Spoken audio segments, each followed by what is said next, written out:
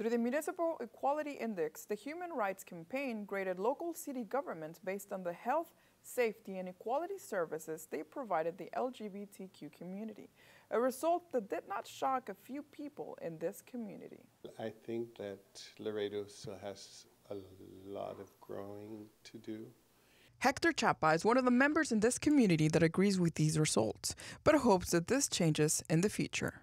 So I think only time will give us more confidence and be a little more outspoken. I think a lot of people are closeted. Some of the criteria that 506 city governments surveyed had to meet were non discrimination laws, benefits for LGBTQ employees, city efforts to include LGBTQ in constituents, and many others.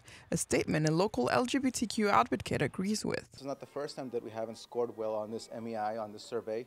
Uh, I know last year we scored a zero. I don't know how far back we go. Laredo was not able to meet most of these. LGBTQ advocate Enrique Lobo says that despite these results, local Laredoan officials are open to work with the community. And it's not because there's any ill intent on anybody's part. It's just a lack of an organization, a lack of any presence of um, an LGBTQ organization. Human Rights Campaign says that the MEI results should serve as a roadmap for city leaders that are looking to further inclusivity, a goal that everyone in the LGBTQ community is hoping to meet. I see Laredo improving, growing, and people's minds learning and becoming more accepting. We reached out to the city of Laredo and they were unaware of the report until we approached them with it.